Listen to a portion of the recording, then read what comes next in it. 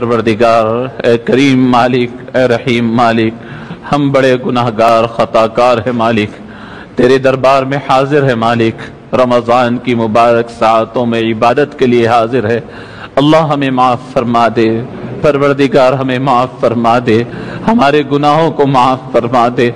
आपने कुरान में फरमाया है कि ज़मीन और समंदर और तरी के अंदर और खुशकी में जो कोई फसाद, जो कोई नुकसान, जो कोई मुश्किलात होते हैं, इंसान के हाथों का किया हुआ होता है।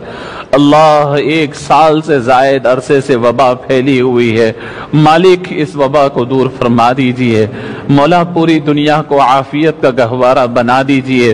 परवरदिगार, तेरी मखलूक़ात में एक छोटी सी मखलूक जिसका कोई वज़न नहीं पूरी दुनिया मिलकर उसका मुकाबला नहीं कर सकती है। मालिक हमें माफ़ फरमा दे। परवरदिगार हमें बड़ा गुरूर था तकबर था, अपने आप को बड़ा समझते थे। मालिक तेरी न दिखाई देने वाली छोटी सी मखलूक हमें मात दे दी है। हमारी तमाम तरक्यात बेकार हो गए हैं। हमारी तमाम जरूरतें, ताकतें कुतें ज़ाय हो गई हैं। अल्लाह लाशों की नाशें निकल रही है। मौला लोग बीमार पड़ रहे हैं, दवाखाने बस नहीं हो रहे हैं, बच्चे यतीम हो रहे हैं, औरतें बेवा हो रही है परवरदिगार, करम फरमा दीजिए, रहम फरमा दीजिए। अल्लाह आपने बहुत मौका इनायत फरमाया, सुधरने का मौका अता फरमाया, सुधरने का मौका नसीब फरमाया, लेकिन हम गफलतों में पड़े रहे। अल्लाह आज हमें माफ़ फरमा दीजिए। परवरदिगार आपके हबीब ने फरमाया, जब नेमतों की नाकदरी होती है तो उसे छीन लिया जाता है। अल्लाह तेरे घर के दरवाजे खुले थे, हम बाजारों में फिर रहे थे। अल्लाह तेरे मोहसिन पुकार कर बुला रहे थे, हम बिस्तरों में सो रहे थे। अल्लाह, आज फिर वो वक्त आ गया है कि लोग मसाजिद के दरवाजे बंद करने पर तुले हुए हैं। तेरे घर के दरवाजे बंद होने वाले हैं, तेरे काबे के दरवाजे बंद होने वाले हैं, तेरे नबी का घर बंद होने वाला है। अल्लाह, महीनों तक ये बंद दरवाजों को हमने देखा है।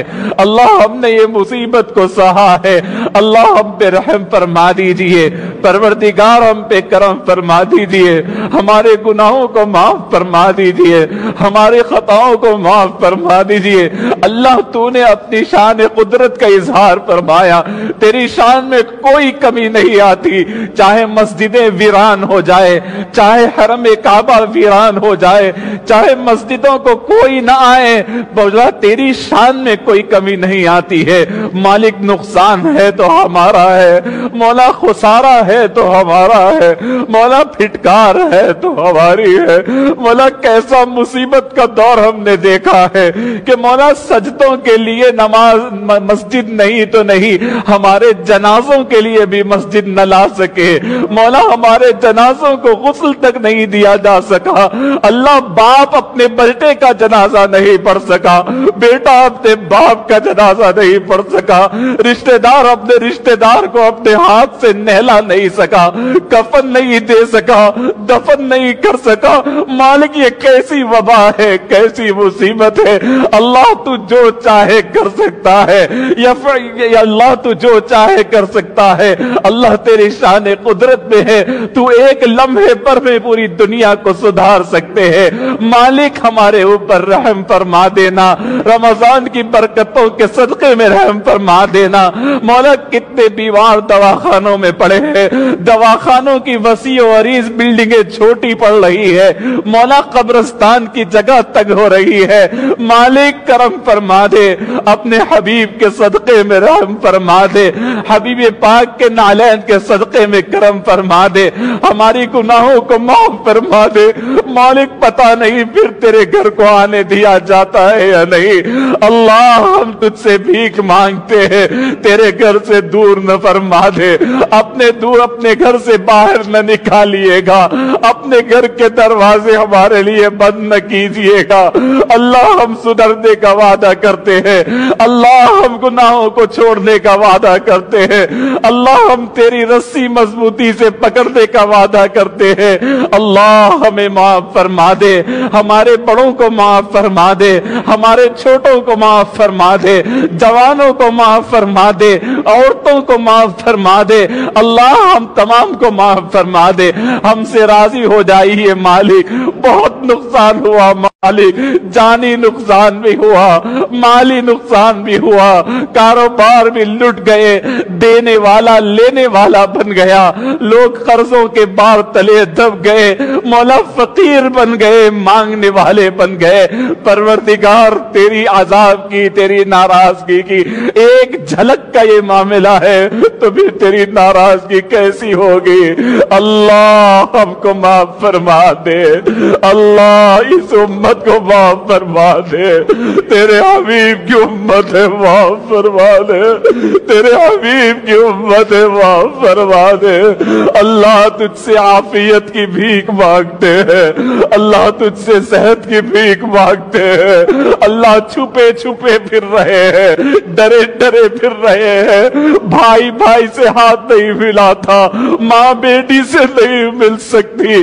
रिश्तेदार रिश्तेदारों से कतरा रहे, डर रहे हैं। अल्लाह एक कैसा दौर आ गया है, मालिक। परवरदिगार फरमा दे। इंसान के साय से डर होने लगा है। इंसान की मुलाकात से डर होने लगा है। कहाँ हाथ लगाए तो वायरस आ जाए। कहाँ हाथ लगाए तो बीमारी आ जाए। अल्लाह ये मुँह छुपा छुपा कर कब तक फिरे।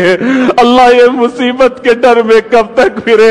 अल्लाह एक तुझसे न डरने का ये नतीजा है, मालिक। अल्लाह आपने फरमाया था कि मेरे से डरो।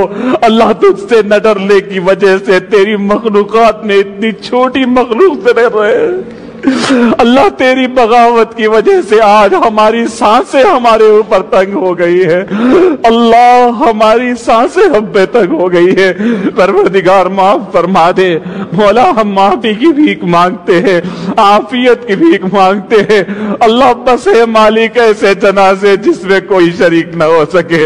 अल्लाह हम आखिरी वक्तों, मोहब्बतों, प्यार से तेरी मगफिरत की भीख मांगते हुए अपने रिश्तेदारों को आखिरी आराम गाह तक पहुंचाते थे।